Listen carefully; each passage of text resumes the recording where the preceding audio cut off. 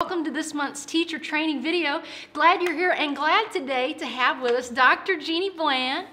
I think we met August 2006, Lambert Airport, right here in St. Louis. Jeannie and I have been friends since then, but I came here uh, to teach at Gateway College of Evangelism, where she was academic dean and my boss. And so we had uh, just a wonderful time learning, teaching, and I said in our last video that your passion for teaching and teaching teachers just mm-hmm. really inspired me with the book that I've just done. And uh, I've been able to speak at some places where you have and just see you in action. It's exciting. your passion for teaching just comes across. And so you guys are in for a treat today.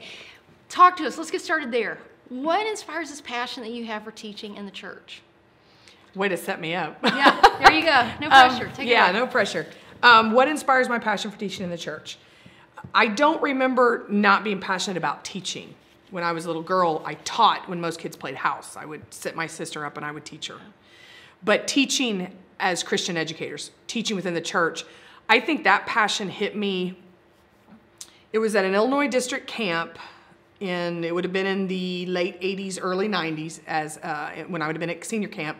I distinctly remember I could walk to the place now where I was, where God called me to teach as a Christian teacher in Christian environments.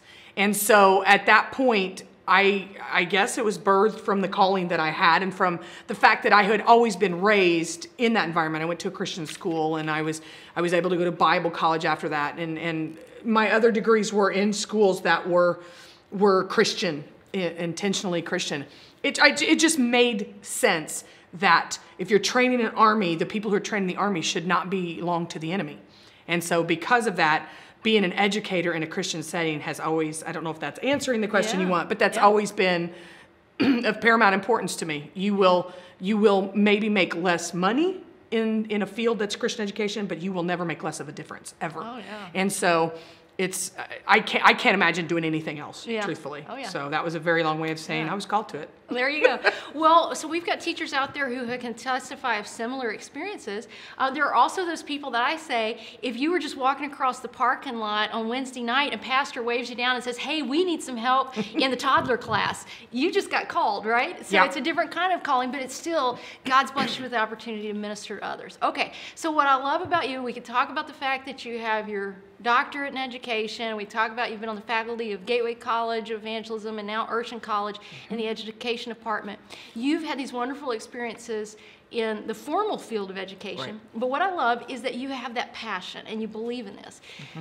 Let's try to put those two things together right now. For those of us who haven't had some of those opportunities to learn about the theory and philosophy of education, help us in understanding in a classroom setting in the church what's happening what's that learning process look like talk to us maybe about about that learning process the learning process with within the church itself as yeah. with the christian educators that is actually i teach semesters on that subject yeah. so this should be this should seconds. be interesting yeah. um, for me to just wedge it right in there um, the the process of teaching you can never go wrong as teachers, the number one thing is you model yourself after the, the master teacher. It is it's insane to try to do it any other way. You can look at all the psychology in the world and you should. And you should look you can look at all the educational theories in the world and absolutely educate yourselves in those areas. But understand if you want to do something right, mm-hmm. you do it the way Jesus did it. Yeah. And it and oddly enough, this is going to just shock you to death, but the way Jesus did things, that is what modern psychology shows works the best. Who so give knew? us for instance. For instance, um, little things.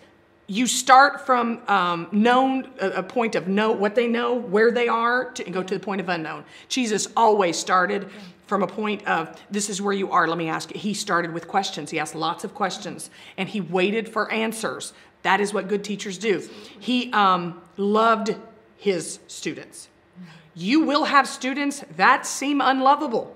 no, I'm sorry. not. I've been doing this two decades. They're going to exist. but six.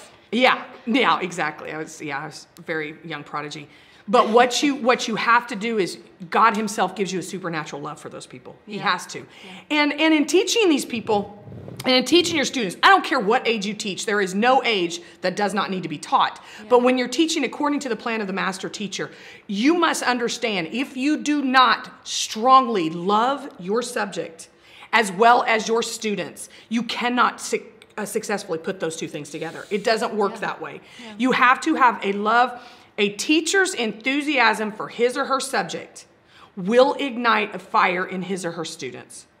Um, and that is what I mean, of course, Jesus was excited about the gospel. and of course, Jesus was enthusiastic about his creation in front of him. When he worked with people, they mattered. It was not about finishing the lesson, it was about making sure that their needs were met. And as an educator, that's where it all starts. Yeah.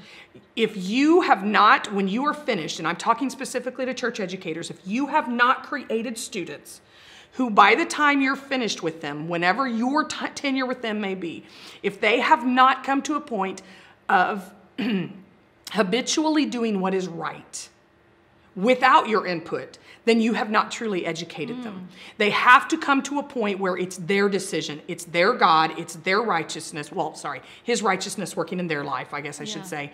All of those things have to become personal to the student. If it isn't, Yeah. you haven't taught them. And so, in in in from from cradle to grave, there is no time the church should not be teaching the mm. saints. There is no time. And so, yeah, I've got all kinds of information on that. Yeah. But uh, as a teaching church, you follow the master teacher, you cannot go wrong. You will not mess up. And no matter how you were called, whether it's the call of the pastor saying, oh my goodness, we have nobody to teach junior high, whether it's nobody else is doing it, if I don't do it and you're in that classroom, you have to understand God's sovereign. You got in that classroom not by accident. It's His word, His people. He's putting two things He loves together and He's chosen you to do it. You've got to look at it from that perspective. You weren't called by your pastor, it just might have been your pastor's voice or the Sunday school superintendent or whomever's voice Right. that called you with God's will. Uh, so much good stuff in there. I, I want to like tweak a couple of those things, right? Uh, so I, I think I hear you saying that we got to focus on those students and where they are and where they need to be. Because I'll be honest, sometimes teaching is more like a performance, and we worry so much about like the next trick to keep their attention Yep. and the next cool analogy. And I think we can get turned on focusing on ourselves as this performer. And I love what you're saying. Think about where those students are and what anything I'm doing like that that's exciting, engaging, great, but it's only for the sake of helping them Right. progress. Right. Yeah. And there is there is a grid. We've talked about it before. Yeah.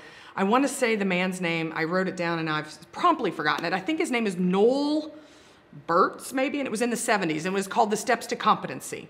And it's a grid, it's a quadrant, four quadrants. And it, you start at, and it, it has to do with how to learn how to do something, Yeah. the competency. But I like to use it in reference to um, into education, into educating people. The first grid is uh, unconscious incompetence, and what that means is you don't know what you don't know. That's how I use that. When people come to you, sometimes as a Christian educator in your church, in your classrooms, wherever your situation is, they sometimes don't have a cl- many times don't have a clue what they don't know. Yeah. You and and and their, their ignorance is still a problem.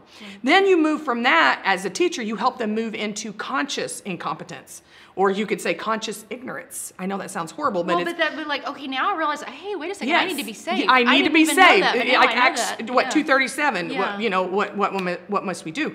And so you move them from a place of unconscious to conscious Mm-hmm. incompetence, and then they move into conscious competence, which means I'm teaching you the way to Jesus. Follow me as I follow Christ. Here is the path to take. So they are aware and they know what it's going to take. And then they start following it. And the absolute success stories end in the fourth quadrant, which is in unconscious competence, which mm-hmm. means I don't have to think about it. I'm just doing what's Yeah. right. It's what I do because when the more you become like Jesus, the more his Yeah. righteousness shines through and the right things happen. That's what we're trying to get them. Not that it's like, oh, I've got, let me check the list. Oh, that's Exactly. what I'm supposed to do here. But that's just, it's who I am now. This, this Yeah, and it's- apostolic life is who I am. And if I can interrupt you to say this, we have to be really careful as teachers to worry about, we're all worried about the wow factor. Yeah. The, and we've got the so what. The so what is why do I need to know this? We understand that. But the wow factor is like, I've got to tell the right stories, I got to get the right hook, I got to get people listening to me.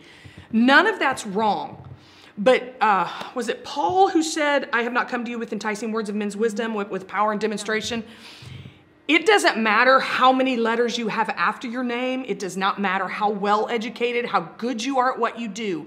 The power and demonstration of the Holy Spirit in your classroom. And I'm not talking Right. about if I'm teaching a class on tithing, I do not expect people to necessarily get out of their wheelchairs. Not that they mm-hmm. can't, I just don't expect that. But that does not mean the anointing cannot be Right. demonstrated in that environment.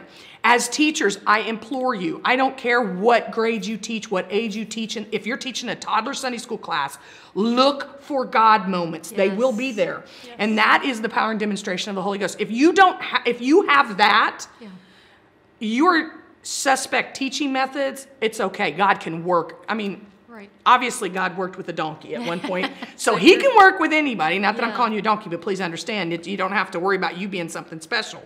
God will qualify the called. He doesn't necessarily call the qualified. So when you are working with people and you allow those God moments, that is the power and demonstration of the Holy Spirit. And people's lives will be changed Yeah. through that. Yeah, teaching is a spiritual act. We, Yep. we should, it can and should expect the work of the Spirit when we teach. And it's an imperative. We're required to do it. Well, we have had such a great conversation. Thanks for being with us. Come back next month and we're going to talk some more with Dr. Bland on teaching in the church.